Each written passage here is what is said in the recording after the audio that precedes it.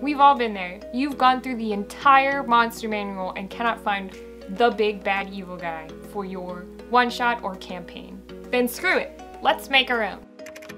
So first you're gonna need to start with a concept, but at this point you probably already have one since you can't find a monster that fits your needs. In my case, I've been working on a one-shot, which I've been sharing over a series of videos. In this one-shot, children have been captured and have disappeared for a few days only to turn up asleep at the edge of a forest, and the townspeople are unable to awaken them. So we need a culprit, and that is going to be the Dream Eater Queen. And here's how we're going to make her.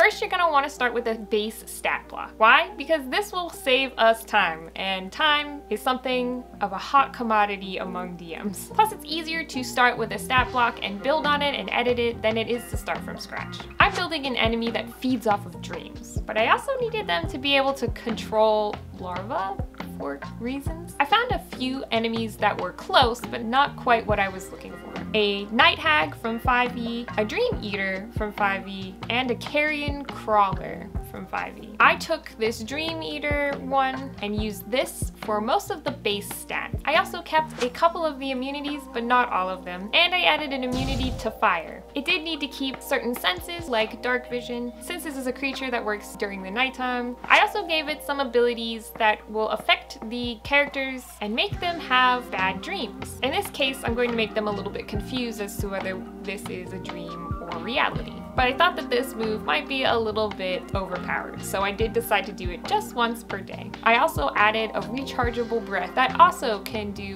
quite a bit of damage and poison our unsuspecting players. But the biggest thing that I added was lair actions. Now this creature that I'm creating is a boss, and it has a lair. This is where it's been taking children to hide them and feed off of their bad dreams. And the players are here in its lair, so that means there should be some sort of consequence. In this one shot, we want some consequence to happen if they are attacking at night. So one of the lair actions I've included was the ability for our big bad evil guy to heal its allies if it is nighttime. It is the most powerful at night when it can eat all the dreams. Plus adding lair actions makes the battle super cool and we want people to remember this battle. So this is for a one shot, so if it's a little overpowered, not the end of the the world because they're probably not using these characters in a main campaign. Also, this is a queen, it's in her name, so we want her to be able to call some minions to her aid. But again, we don't want to overpower our players. I made sure that the enemies that they call in have a limitation to prevent overcrowding the room and destroying all my players immediately. Gotta let them at least try time to determine what the CR level is. We can do a whole video on how to balance encounters and make sure that your homebrew monsters are balanced accordingly. For now, I know what I want my CR level to be. I want it to be around 5 or 6. I'm going to adjust the AC and the HP, kind of bump it up a little bit.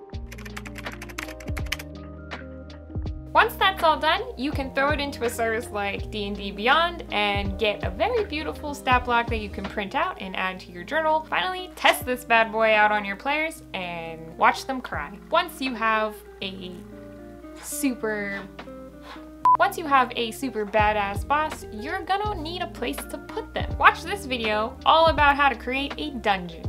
Flinters, that's smelly. Why'd you have to poop right here?